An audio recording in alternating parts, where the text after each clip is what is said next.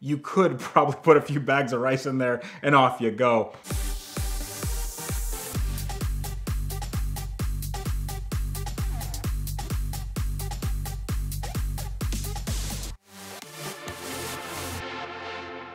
So when I think about my projects, uh, I think of three really big ones. So the one that essentially started my channel that uh, that gave me a really big boost was my 2008 Lamborghini Gallardo Spider that I bought fire damaged on Auto Tempest, and uh, I essentially rebuilt that in my two car garage at home when I had no idea what I was doing, and uh, I still don't know what I'm doing, but now I have a shop where I can do more things like this, and that sort of started started it all. So we have my Gallardo, and then my second build was my 2003 Lamborghini Murcielago. So that was the hero car that Tyrese Gibson drove.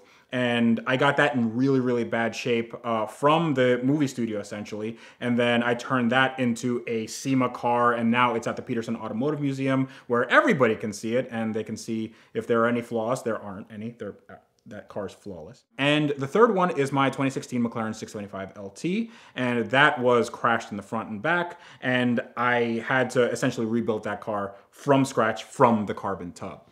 And there are a lot of interesting parallels between all three, but there are big differences between those builds. So the first one was my my Gallardo, and it was fire damaged, but it wasn't super bad in how the fire happened. So apparently, the previous owner was a modifier of sorts. He had a he had a big speed shop that made really fast cars. So this car was twin turbo. He he made his own turbo kit, and I will not talk about the quality of that turbo kit other than the fact that it was garbage. So that engine was also it was built by someone that I don't know it was told to me that it could hold 1600 horsepower and it had a lot of really high-end components on it. Like the turbos were really good, the ECU was good, it had a Syvecs standalone engine management unit, and it was a gated manual, which Ed Bolian tells me is really rare. I think they only made like 80 of them uh, for the 2008 year, or ever. That car was very special to me. It was my first like truly exotic car. I did have an Aston Martin before that, but this was my first kind of big step into the exotic pool. So I started rebuilding that in my garage. I took everything apart, took the engine out, I made sure everything was okay. I redid the fuel system. I redid the turbo system from scratch with the help of a good friend now, uh, Tony. I call him the welding Jedi because he's a uh, uh, union pipe fitter and he knew how to weld things very very well. So uh, i designed the turbo kit and installed it and we spent countless hours in my garage with no AC in the Florida summer heat, uh, just trying to get this thing to work. And it did work. It made a decent amount of power on the dyno. I don't really know what the dyno number is. The dyno was reading low that day. I have lots of, lots of, lots of, lots of excuses uh, of why that power number was low, but the car is very, very fast. But I don't really enjoy driving it all that much. There's an issue with the clutch. The top doesn't really work, and a lot of other Italian related things. But that car is running and driving now. Um, I have a new paint job on it. It has good wheels and it looks fantastic. I love looking at it. But as far as a build is concerned, that, that took me about nine months to do. The next one was my biggest one since then, and that was the 2003 Lamborghini Murcielago. And I don't know if you've ever seen a movie car like up close. If you go to a museum or if you go to uh, just like go to Universal Studios, they have a bunch of movie cars out on display, and you can see how bad they are because they don't care about those cars at all. The fact that Universal could buy three actual Lamborghinis for this production. I mean, I think it was like a $200 million budget on that movie. They bought three Lamborghinis knowing that they would probably wreck all three of them. And they took them to Iceland. They ended up painting them essentially in a parking lot in Iceland. They had like 10 or 11 layers of paint on the front fenders because they kept repainting them because of rock chips and stuff like that. They had to remake the front bumpers. This car was put together with wood screws and the doors were ripped off. There was no interior. The car was running like garbage, uh, needed a new clutch, all this stuff. And I bought that car for 80 grand which was a great deal at the time. Uh, and Ed Bolian told me it was a great deal at the time. And then when I saw it, I realized why it was the cheapest one on Earth because it needed a ton of work. But I took everything apart on that car. Uh, I mean, short of the engine, we got the engine running really well. Uh, it just needed a good service. Uh, the clutch actually came back to life because uh, it just needed some uh, bleeding of the system.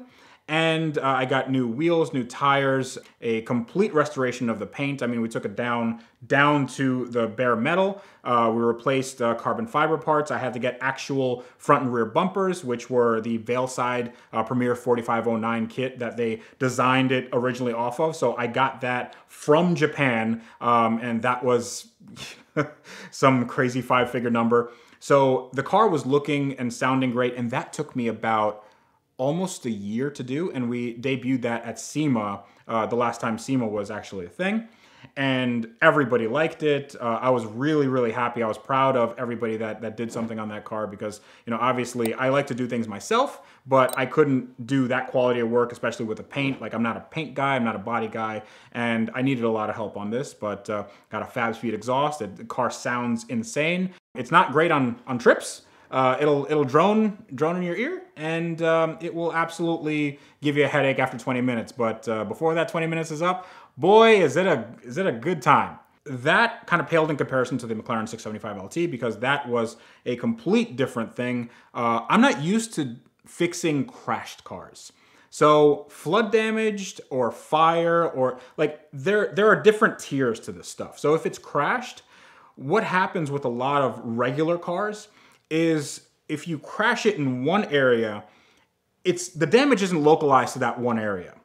It like the energy moves throughout the car. So even if you hit in the back, in the front, you might have a kink or a dent. And you're wondering like where that where that comes from. It's just because it's the car is made of metal and then it just travels throughout the car and it and it warps things.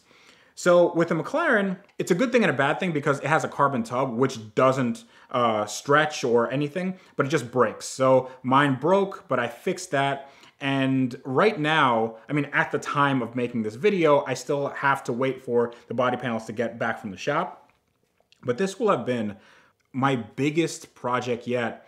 And I think, I mean, honestly, if I, if I was ranking all of them, I would say that the Murci was probably my my most anxiety inducing because I, I knew that it had to go to shows and I knew that potentially it would go to the Peterson Automotive Museum, which is where it is now.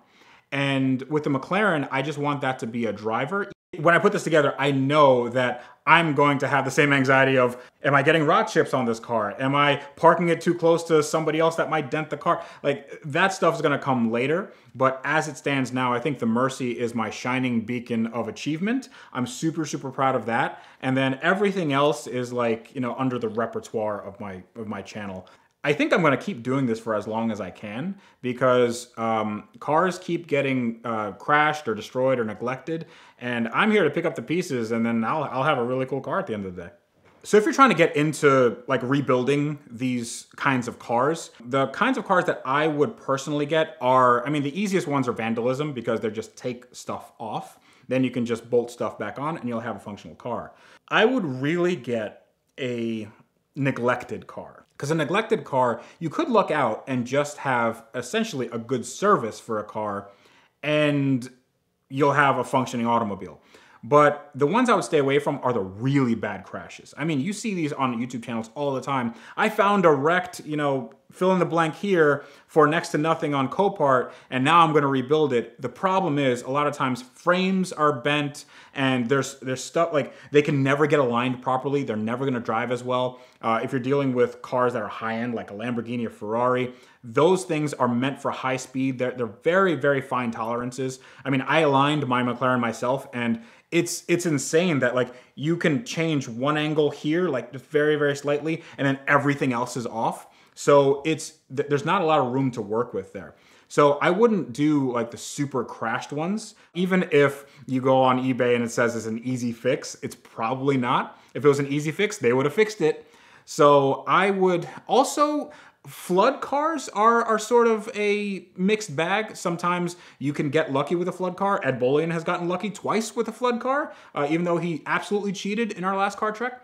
If you have a car in a flood that's a saltwater flood, then all the electronics are probably ruined. But if it's a freshwater flood for not too long, you could probably put a few bags of rice in there and off you go. Uh, or just replace a few modules and check out the wiring. And if it didn't get into the engine and it didn't corrode or anything, actually, even if it did get into the engine and it didn't start, you might be okay because the cylinder walls with fresh water, if it's just standing water and you get that out really quickly, you'll be okay. But salt water just corrodes everything. So I would I wouldn't do salt water floods. I wouldn't do any major fires, like stuff that would get into uh, multiple compartments of the car. So like if an engine bay fire started and then it went into the interior and then it went into the trunk, like I wouldn't do that because then you have structural issues going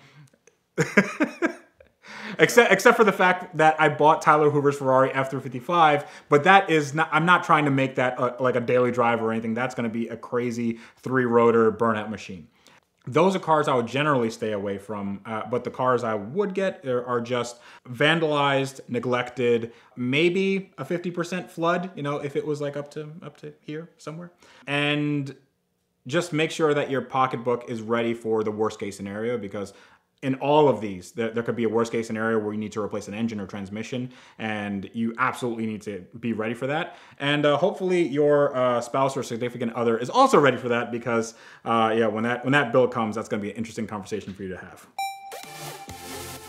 Patrick Adair Designs is currently having their Voyager sale where they're offering 30% off some of their most popular rings made out of meteorites and stardust and their deep space ceramic ring, their halo ring, and some of their other favorite styles. Now you can still get 15% off anything on their site by using the code VinWiki, but check them out today at the link in the description below and find your next amazing ring.